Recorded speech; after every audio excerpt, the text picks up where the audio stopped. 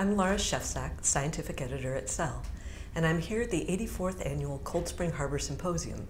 This year it's on RNA control and regulation, and I'm talking with Leemor Joshua-Tor. Hello. Hi.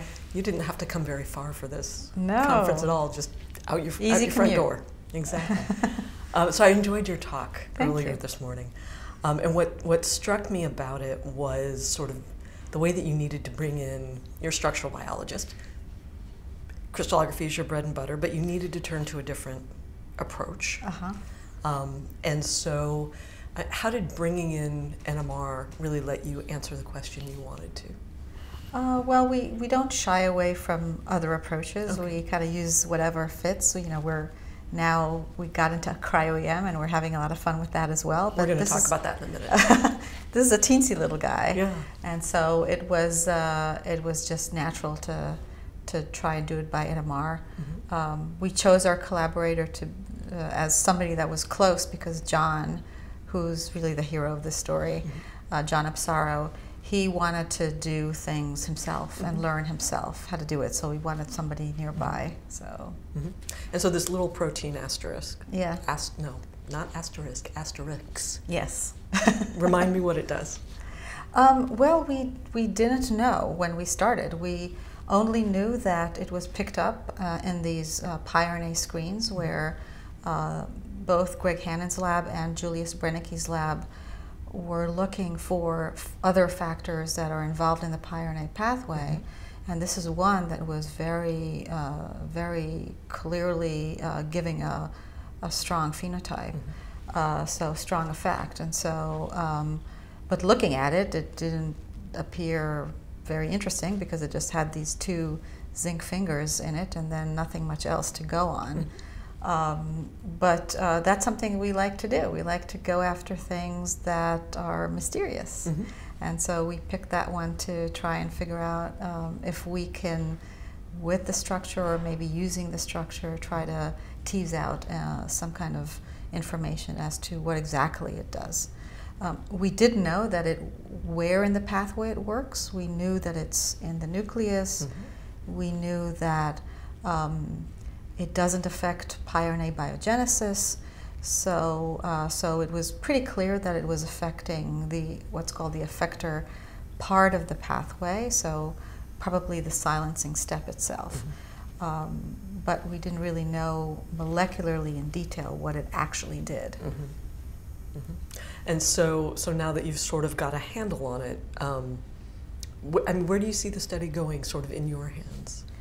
Um, well, we we want to see if this really uh, happens. We came up with a model where um, Asterix, uh, we found that it binds these tRNAs, and we're wondering now um, whether that really uh, is happening. It appears to be the case, and our best guess is that it's uh, it's binding to uh, to the primer binding sites on these retrotransposons because that's where tRNA fits into this whole game. Um, and uh, we there's a little bit of work still to do to to figure out if, if that's all. Uh, it all looks good, but you know we're really excited about it to see if that's really happening. Yeah. Yeah. I mean, I think this is a, a beautiful example where RNAs crop up in places you don't expect them, Yeah. and RNAs get repurposed, and tRNAs fit into so many little niches in biology Right. beyond the way we appreciate them in translation. Um, and I guess I wonder there are other RNAs that have tRNA like elements to them. Uh huh. Um, I mean, the, the data you showed was a pretty specific size, but I wonder if you've, you've tried looking at larger things that may have similar structures. I mean, I know your the model is built around tRNA because of the, the link to the, uh, the retrotransposons, but have you thought about other options? Uh, well, we, we were pretty agnostic as Okay. to what it would be. So we uh, it was pu- co-purifying with the protein initially, and uh, when we first um, uh, looked at it and found that it was a tRNA, you know the way we expressed the protein was a mouse protein in this insect called armyworm. It's a moth, uh, and so we weren't sure that it's relevant at all. Right. And so that's why we went, uh, we looked for uh, what the mouse protein would pull out in mouse cells that have mm-hmm. piRNAs, and the Drosophila one in, in, in, in cells that are ov uh, ovary cells uh, that also uh, are part of the pathway to see if it's still doing that. And it appears to pick up tRNAs very mm -hmm. specifically. It's not fragments. You know, fragments are, are all over the place, but this appears to be a full tRNA. Okay, that was going to be my other question. Yeah, yeah. And is the is the protein restricted to germline? Yes, okay. yes, it appears so. Yeah. yeah. Okay. Um, and so, I mean, this was this was a, a small protein. Yeah. Uh, we were talking earlier that you've sort of jumped into the world of cryo-EM, right? Um, which also has problems with small things, right? Um, so I'm curious what kinds of questions you want to answer now in the kind of RNA space that you haven't been able to do before because you didn't have, you know, crystals or another approach. Yeah, so uh, there's a lot of things that you can now do with cryo-EM yeah. uh, because um, uh, because you don't have to produce crystals. Uh, you need to make really good sample that's fairly clean, but it doesn't have to have quite. It's not quite the same bar as mm -hmm. when you want to actually crystallize it, and also. Uh, we have a little bit more leeway in terms of conformational flexibility of the molecules, where whereas in, in crystallography you kind of can't do it. So we have uh, we have uh, another system that we've been working on for a while, which is um, the TUTases mm-hmm. uh, with respect to their um, biogenesis and destruction of uh, an important microRNA called LET7. Mm-hmm. And uh, there, for example, um, uh, we can now assemble these complexes and they might have conformational flexibility, but we don't have to like uh, cut off all the extra loops and things like that, we can deal with it uh, because you can computationally purify out mm -hmm. the different complexes. So uh, it opened up a lot of possibilities for us. Um, uh, you know, we're interested both in that. We're interested. Uh, I've I've started my career in, in RNA and RNA interference with Argonaute, and mm -hmm. that also factors into our studies. but the piRNA pathway um, is, is probably the most intriguing because there are a lot of factors that have been uh, shown to be uh, part of this pathway, but we don't. We heard about some more of those today. That's right. Yeah. And we know where they fit in and a little bit of, of what they do, but how they do it mm -hmm. and uh, mechanistically how they do it, we don't. And so uh, this is an opportunity for us to jump in and, uh, and, and figure out some stuff that would be interesting. Yeah, and so I'm, I'm curious now that now that you've sort of gone in this. Well, actually, let's back up. So in order to be able to do cryo-EM, you told me something interesting the other day that you essentially went back to school. Yep. So what did you what did you have to do to sort of bring the technology on board? Uh, well, there, there. Well, first of all, we had to get a microscope. Okay. So um, Bruce Stillman, who's the president of Cold Spring Harbor, was very generous in raising the money to mm -hmm. get a microscope, which is fantastic. Um, uh, but then, uh, yeah, so before that, uh, we, um, I, there are a lot of videos online that, uh, about 70 hours at least of mm -hmm. practical videos mm-hmm. on, on the technique which I watched. Uh, there, um, we started a cryo-EM course at Cold Spring Harbor, which I was a huge advocate for, and I was student number one in the course. and I went in and, and, and, and just took it full on, mm -hmm. um, practical and computational mm -hmm. and mm-hmm. everything.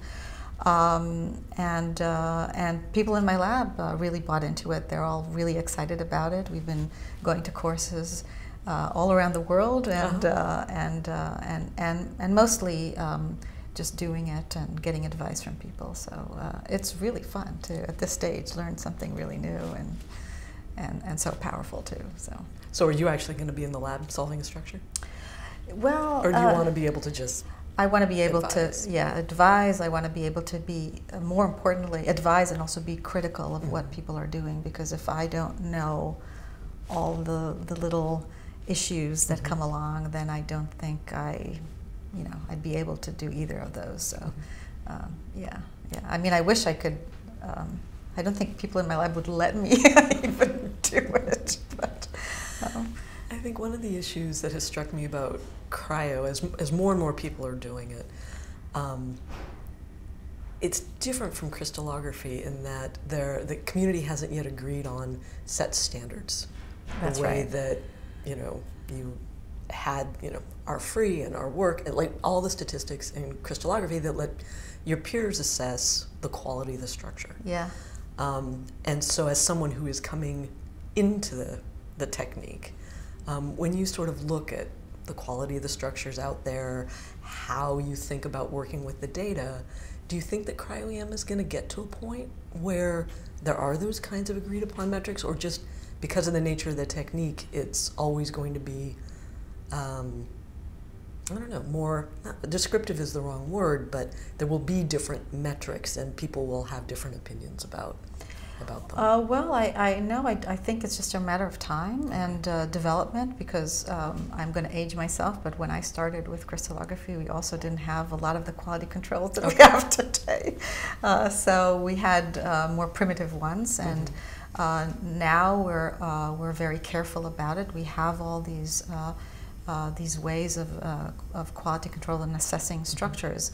And uh, one thing, and, and the reason it's going to happen way faster in cryo-EM, not only because uh, there's more people, the computational techniques are a lot more sophisticated and all of that, but also all of us crystallographers are jumping into yeah. cryo-EM. And so I think we bring in uh, these traditions mm -hmm. into cryo-EM. So I think um, they'll have no choice and just, um, you know, this is all going to be developed, and I think not in too long of a time. Just a matter of to, to, to find ways of doing this properly. Mm -hmm. Yeah. And so, is X-ray crystallography done? No. Okay. So what? good. So what are the kinds of questions that are where that's going to remain the the premier technique, and and, and how are those distinct from the kinds of questions you use cryo for or you use NMR for, like looking forward? Well, uh, so so first of all, NMR um, is good for for certain uh, small things, but but it is very good for looking at dynamics, right. which we really can't do at all, really, in crystallography, uh, and we can't do as well in cryo-EM. Um, crystallography um, is really good at getting very high resolution structures, uh, and I think that uh, the field of uh, of uh, drug design and drug development is still going to uh, uh, enjoy uh, enjoy um, what crystallography has to do. Um, it's true that in cryo-EM we're getting uh, we, we're able to look at smaller and smaller things mm -hmm. at, at, very high resolution, uh, but those are things that are um, very well behaved, etc. so yes, you also need well behaved for crystallography, but um, it's still um, uh, so powerful and the technique is so streamlined now in mm -hmm. crystallography, uh, especially for small things and for uh, and for looking at complexes with drugs, mm -hmm. that I think that it still has a place. And and again with small things, um, um, for example, um, Argonaute we can do on the cryo but it we know how to crystallize it and it looks so so good. so why you know why do it? In a, why make our lives more complicated if we can use crystallography? So. Mm -hmm. And so when you think about cryo and the, the, possibilities that it opens for the kinds of complexes that you work on, you've, you've mentioned a couple of times that you need a good sample. Yes. Um, and so how does the biology, like understanding the biology, fit in sort of the, the, integration between the biology and the structure? Because it seems to me that you need to know something about the biology in order to be able to prepare a sample that Correct. would be useful, and then that will tell you more about you know that's that, right that process. So, how does it look on the front end?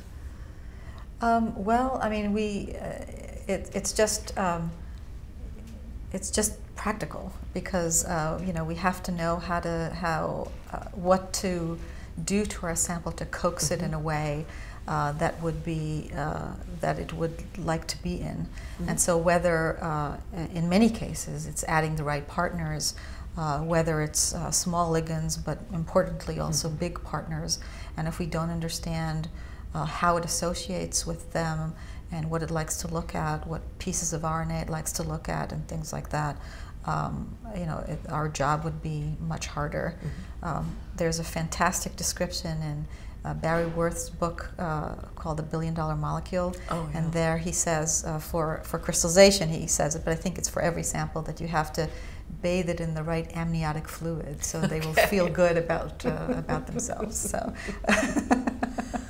I like that. I, I, like that. And so I'm, I'm, I'm curious when you, you sort of think about your career and you know what's ahead. Are there are there questions that you wanted to ask about biological systems in the past that you you couldn't get around that you now think about going back to? Um, well, I mean, specifically with the discussion we were just having with cryo-EM, yeah. yes, uh, we've been working on, uh, for example, on a helicase where uh, it assembles uh, into different states, and each state uh, controls a different part of the maturation into a helicase from from uh, from binding double-stranded DNA to melting uh, double-stranded DNA to translocating on DNA. And we can get at a couple of these states before, but we couldn't get at one crucial one uh, because it we couldn't make enough and we thought it might be too unstable and just not amenable for crystallizations. And now we're going for it. So, okay.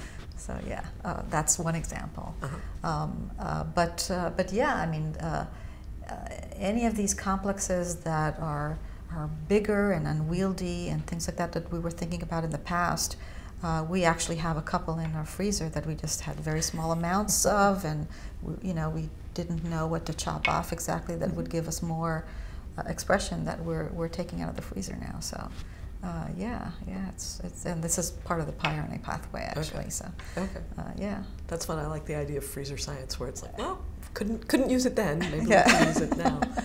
um, so, I want to ask you just one last question, which has to do with uh, sort of bringing new students into into this field. Like, what what is the what are the things that you think students should know or be excited about or be aware of when they're getting into structural biology now? Oh, uh, gosh, I haven't thought of it. I, I, mean, to me, I don't know how you can live without it because, uh, you know, seeing exactly what things look like uh, is so informative to how they work, and mm -hmm. I've uh, that happened uh, very clearly in, a, in, in, in, several cases in my career. So uh, I just uh, can't live with just blobs in a cartoon. You know, it just doesn't do it for me enough. I mean, you can go back to the blobs, but then you're informed by what mm -hmm. the mm-hmm. structures are telling you about how things actually work. And um, uh, I'm, I'm a chemist at heart and mm -hmm. in mm-hmm. training, and so uh, I always go back to the exact mechanisms. And um, uh, I think there are a lot of people out there that still that really floats their boat, and mm -hmm. that's kind of their cup of tea, and all these other uh, uh and and uh, and, and um, so they'll they'll just come, and they are coming. Um, I also I have to say that there's such an aesthetic about structural biology that. Um, uh, yeah, I mean the imaging techniques now that are producing these wonderful images, but there's such an aesthetic about look about the molecules mm-hmm. themselves mm -hmm. that um, I hope uh, people are still excited about it. So, oh, I'm sure they are. well, thank you very much. This has been a fun chat. Yes, well, for me too. Thank you. Good.